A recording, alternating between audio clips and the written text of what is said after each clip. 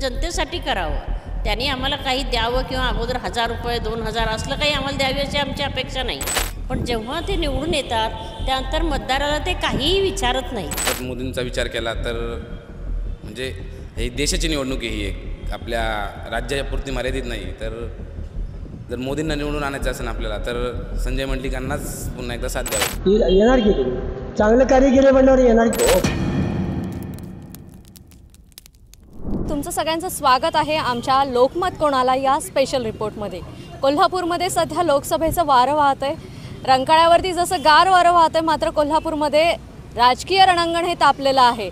एका बाजूला संजय मंडलिक आहेत तर दुसऱ्या बाजूला शाहू महाराज छत्रपती या निवडणुकीच्या रणांगणामध्ये दिसत आहेत अटीतटीची होणार लढत आहे मात्र लोकांच्या मनात खासदार कसा आहे खासदाराकडनं लोकांच्या अपेक्षा काय आहेत आणि कशा पद्धतीने कोल्हापूरचा विकास होणं अपेक्षित आहे?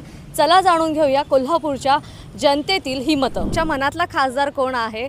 क- कशा पद्धतीने तुम्हाला अपेक्षित आहे कोल्हापूरचा विकास होणं? जनताचा राजा असावा ना. एवढीच अपेक्षा असणार. जनतेचं त्यांनी जाणून घ्यावं जनतेसाठी करावं. त्यांनी आम्हाला काही द्यावं किंवा अगोदर हजार रुपये दोन हजार असलं काही आम्हाला द्यावी अशी आमची अपेक्षा नाही.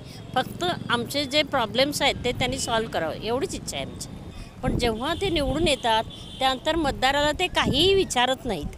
आणि मग आपल्या मनाप्रमाणे राजकारण करत पक्ष बदलतात. आम्हाला विचारून तुम्ही झालेला असता आमदार. मग आम्हाला न विचारताच तुम्ही पक्ष कसं बदलता? हे चुकीचं आहे.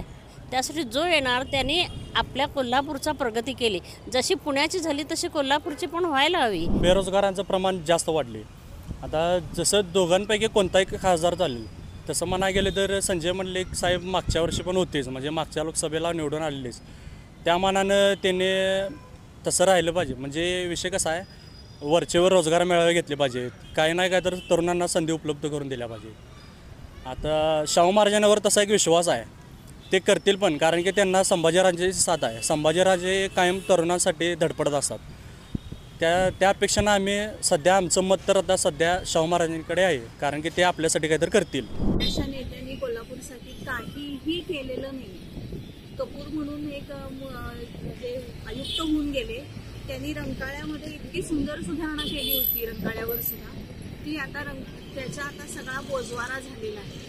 आता हे जे रंकाळा हे करून ठेवलाय त्याची सुद्धा गतीनं काम नाही म्हणजे पर्यटकांनी येऊन हे सगळं बघायचं का? आपण हे बाजूनी घ्यावं ह्याचं पाईप ह्या बा ह्या सगळ्याचं. आणि पाणी आणली ही गोष्ट खरी आहे. काही नेत्यांनी पण त्याचं आता हे बंद पडते सारखं. आणि गळती. गळती लागती त्याला. कुठं आणि लाखो लिटर काही काही ठिकाणी पाणी वाया जातं. ह्याच्यावर लक्ष पाहिजे. परत मोदींचा विचार केला तर म्हणजे ही देशाची निवडणूक ही एक. आपल्या राज्यापुरती मर्यादित नाही. तर जर मोदींना निवडून आणायचं असेल आपल्याला तर संजय मंडलिकांनाच पुन्हा एकदा साथ द्यावी. जनतेचे प्रश्न सोडवायला पाहिजे हो. एकदा निवडून गेले की ती पाच वर्ष इकडे बघत देखील नाही.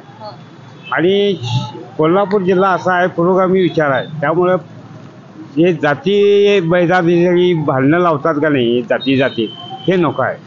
एक एक संघ राहतात एकत्र राहतात. धर्मनिरपेक्ष कशाला म्हटलंय? सगळ्या जाती एकत्र पाहिजेत ना. कोणाचे काय भांडण बिंडण काय नको आहे. असा आमचा विचार आहे. तर कोल्हापूरची खूप कामं आहेत. सगळ्यात महत्त्वाचं म्हणजे रस्ते कोल्हापुरातले. कोल्हापुरातले रस्ते एवढे झाले आणि कोल्हापूरचे कोल्हापुरात टुरिस्ट एवढं वाढले की लोकांना अं, कोल्हापुरात राहणाऱ्या लोकांच्या गाड्या सुद्धा इथून फिरताना खूप अडचण होते. तर किमान रस्ते हे महत्त्वाचे आहेत कोल्हापूरसाठी. तर रक- रस्त्याच्या कामांवर आपल्या खासदारांनी जे पुढून पुढचे पुढचे खासदार जे येणार आहेत निवडून त्यांनी लक्ष द्यावं असं माझं म्हणणं आहे. का कामं काय घरं बांधून दिल्यात? पैसा अडका सोडलेला आहे तिने घर बांधायला याला. आहे की व्यवस्थित आहे चांगला आहे. आता परत निवडणूक आहे निवडणुकीला उभे राहिले संजय मंडलिक राहिल्यात. ती येणार की तुम्ही चांगलं कार्य केले म्हणल्यावर येणार की हो. कोल्हापुरातील नागरिकांच्या समस्या आजही सुटलेल्या नाही आहेत खासदार कसा असावा असं कोल्हापूरकरांनी लोकमतला सांगितलं आणि लोकमत कोणाला देणार हे देखील त्यांनी सांगितलं. खासदार हा आपला असावा आपल्यासोबत संपर्क देणारा असावा आणि त्याचबरोबर विकास कामांवरती भर देणारा असावा असं एकंदरीत कोल्हापूरकरांच्या मतांमधून दिसून येत. कोल्हापूरचा खासदार कसा असावा कोल्हापूरच्या खासदाराकडनं काय अपेक्षा आहेत हे देखील तुम्ही आमच्या कमेंट बॉक्समध्ये सांगा. आणि त्याचबरोबर आमचा लोकमत कोणाला हा स्पेशल रिपोर्ट तुम्हाला कसा वाटला हे आमच्या कमेंट बॉक्समध्ये सांगायला विसरू नका. याबरोबरच मी इथेच थांबते. लोकमतसाठी कोल्हापूरहून दुर्वा दळवी धन्यवाद.